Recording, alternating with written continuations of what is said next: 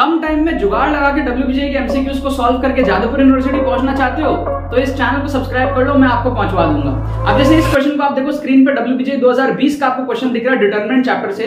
कैसे इसको हम लोग जुगाड़ से चुटकियों में उड़ा देंगे? अगर आप यहाँ पर इस डिटर्मिनेंट में ए बी सी की वैल्यूज़ को लेट कर लो A B C equal to one तो आपका जो राइट हैंड साइड है, वो के के बराबर हो जाएगा।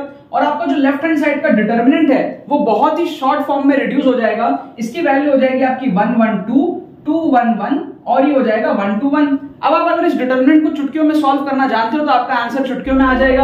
आपका ये हो जाएगा one into one minus two फिर आपका हो जाएगा minus one into two minus one और फिर ये आपका हो जाएगा plus two into four minus one इसको आप जैसे ही सॉल्व करोगे, ये आएगा माइनस वन ये आएगा माइनस वन ये आएगा आपका प्लस सिक्स तो फाइनल आंसर आपका हो जाएगा प्लस फोर जो कि आपके पास में के के बराबर हो जाएगा।